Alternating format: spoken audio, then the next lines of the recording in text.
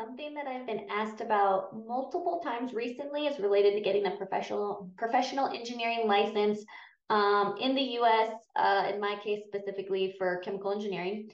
Um, and I believe that it's a little bit different in other countries, such as like Canada. I think the test is more heavily focused on ethics. But I got mine uh, when I worked in an EPC firm because as you worked your way up in the organization, you could become a process engineering lead and then you could be required to stamp IFC issued for construction drawings. At least that's how I remember it because it was like 10 years ago. Um, but the question that I have been asked by a few people is Has it helped you? Like, are you glad that you got your professional engineering license?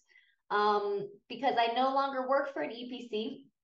I now work for a catalyst company doing technical sales. And I would say that in kind of what I'm doing, it's not super common to have a PE, although some of us do.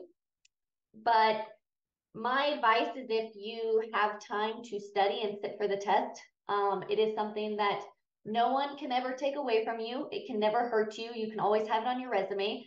Um, and I think it helps with credibility when speaking with other engineers, especially engineers with EPC experience. And you'll also learn a lot during the study process because it is like your entire chemical engineering undergrad degree all packed into one test. And you take it about five years after you graduated, approximately, when you've had a lot of time to forget a lot of the things that you learned in school.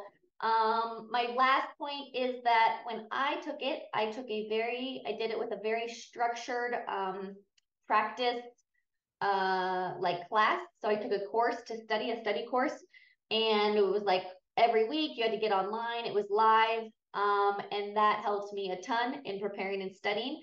So it doesn't hurt to ask your company. Uh, my company paid for it for the study class. It doesn't hurt to ask your company if they'll pay for a study class um, if this is something that you really want to do.